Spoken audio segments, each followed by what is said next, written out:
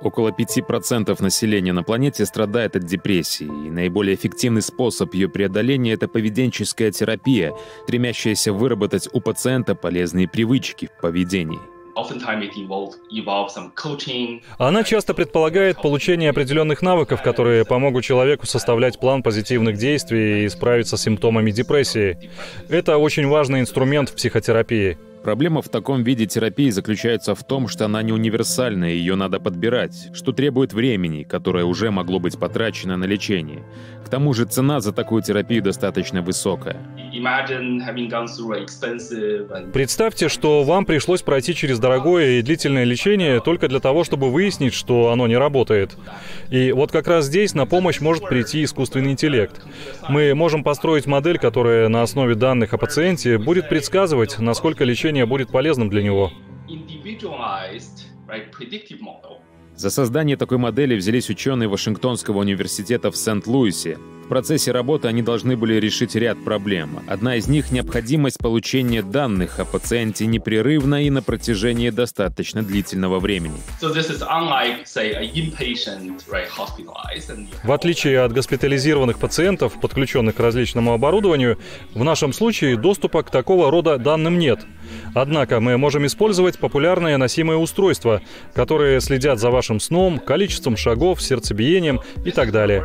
С помощью этих устройств мы можем делать некоторые выводы и о психическом состоянии пациентов.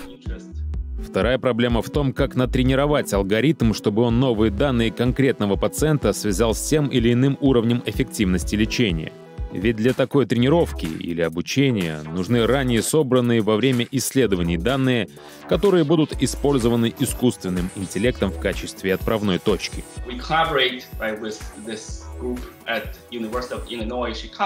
Мы сотрудничали с Университетом Иллинойса в Чикаго. Они провели для нас исследование эффективности поведенческой терапии с участием около 100 человек. Участники были подобраны по схожим изначальным характеристикам.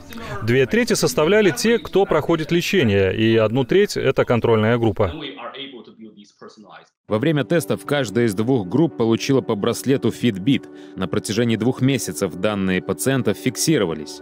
На их основе модель пыталась предвидеть результаты шестимесячного лечения. Смысл в том, что Fitbit предоставляет динамическую информацию об уровне активности, характере сна, сердцебиении. И через два месяца после начала терапии мы пытаемся предвидеть, нужно ли пациенту продолжать этот курс на протяжении еще четырех месяцев. Исследование позволило нам построить модель, которую потом можно будет использовать в медицинской практике. Чтобы получить более точные настройки моделей, ученым нужны более масштабные исследования. Такие исследования занимают очень много времени, и они очень дорогие, но недавно мы начали работать с намного большей группой людей в трех университетах. Она будет включать примерно тысячу пациентов. Ученые также планируют использовать технологию машинного обучения и браслеты Fitbit в исследовании эффективности поведенческой терапии по снижению веса. Андрей Деркач, Юрий Закревский специально для программы «Детали».